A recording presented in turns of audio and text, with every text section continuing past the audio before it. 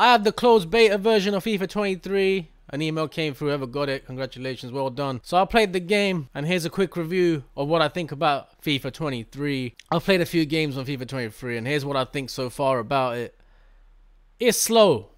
It's really slow. When I mean slow, it is slow. Like it is this slow that Mbappe, you can through ball past the defense, and Mbappe will start running, and the defense is still at the halfway line. It's that slow. The gameplay is very slow. The graphics are incredible and stuff. Um, the skilling is quite good as well, like skill button and stuff.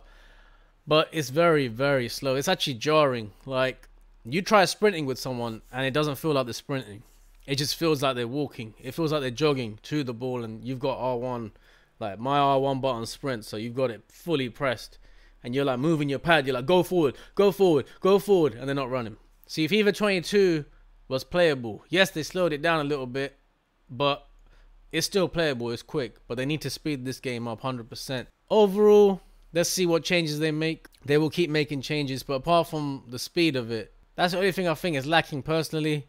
They need to make it faster because, um, yeah, I know they're trying to get it all realistic and stuff, but this is a game you want to have fun, you know. If you want to play that type of realism, you just go out and play football we want to actually be able to run a bit with pace and stuff and add it on. But I'll keep playing. Let's see what happens.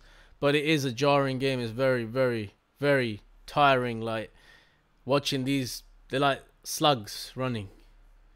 You know, it's it's really slow. But yeah, guys, like, share, subscribe, comment below. Thank you very much for watching. I'm Sash More, Lane More, but you over and out.